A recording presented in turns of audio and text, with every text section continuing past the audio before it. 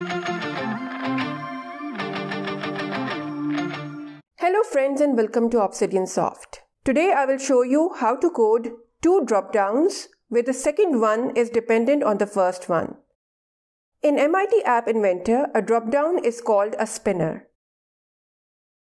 As a bonus, I will be coding a very practical example. I will be making a country and city drop-down where the city drop-down is dependent on which country is selected in the country drop-down. These are very much needed in apps where the user has to provide his city and country. Let's look at the demo. In all my tutorials, I show the demo before starting the tutorial so that you know the result of the video beforehand.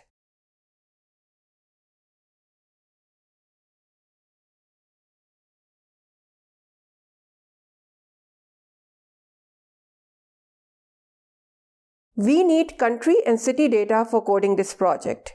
I did a lot of research and wanted to find you a 100% free solution, so I didn't go for API calls and downloaded JSON files from GitHub that served our purpose. This and this are two files containing country and city data according to our needs.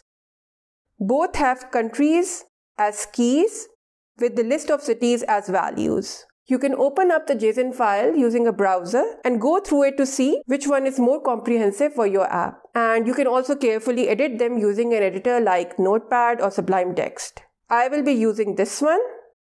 So just click on this download raw file. And once it has been downloaded, open up MIT App Inventor.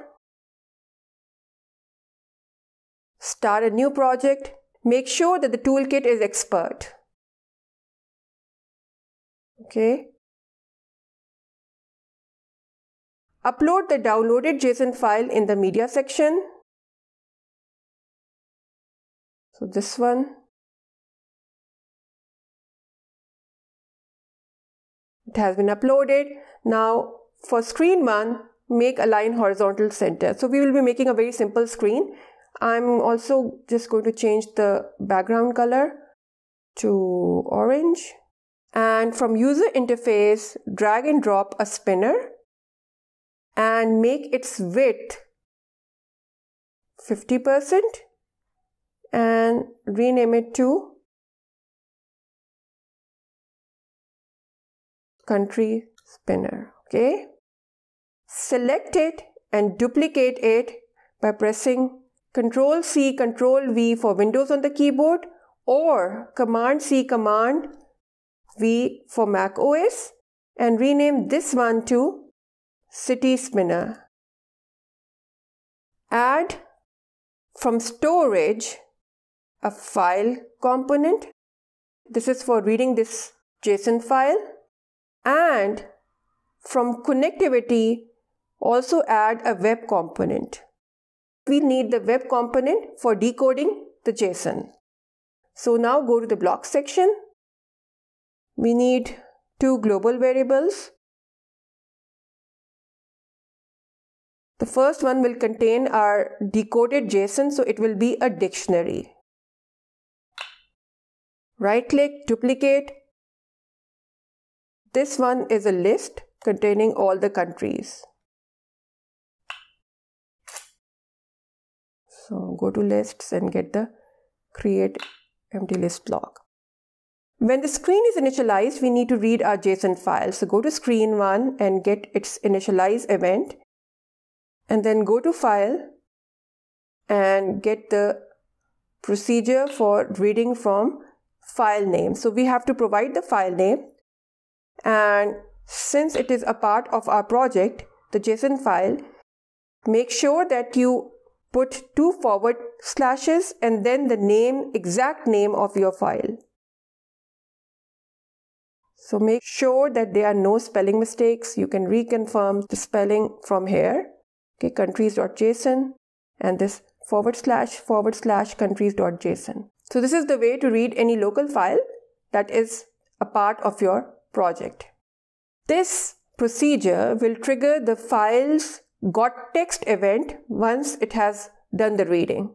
So go to file 1 and get this when file 1 dot got text event In this one, we are first going to decode our JSON file into our global variable data. So get the setter from variables, choose data here, and now here is where we use the web component. So go down, and this is JSON text decode with dictionaries. So get this one, and the text is the text which has been read by the file component. And once it has been decoded, now remember, let's have a look at our JSON file again, that we have all the countries as keys. So we can compose a country list by getting all keys from this dictionary. So go to variables again, get another setter, choose country list and go to dictionaries and get the get keys block. And if you're still confused about these dictionaries, then please have a look at my special dictionaries and JSON tutorial. Go to variables again and get the get block and choose data here. Now we have to add an extra item at the first position and that is select country. Okay. So go to lists and get the insert list item block and here the list is the country list so get block country list index is 1 the first position and a text block that says select country okay now we are going to set a country spinner, that is its elements, to this country list. So I can duplicate it from here and here. And it will have an extra item on top which says select country. Now, what about the city spinner? In the beginning, when the user has not selected a country, we are just going to add one item to it which says select city. Okay. So go to city spinner and get its elements from string block, not the elements block, the elements from string block. And we are going to provide it just one string and that is select city. Okay. When the user selects a country from the country spinner, the after selecting event is triggered inside country spinner. So get that event and here selection contains whatever has been selected by the user.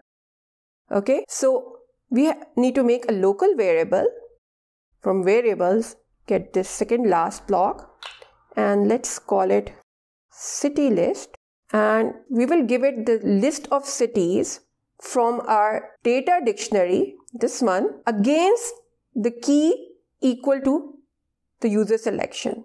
Okay? So go to dictionaries and get the get value for key block. And here you know that the key is selection. And the dictionary is our global data, so we can duplicate it from here. And if it is not found, it should not be a text block, it should be an empty list. Because our code is expecting a list.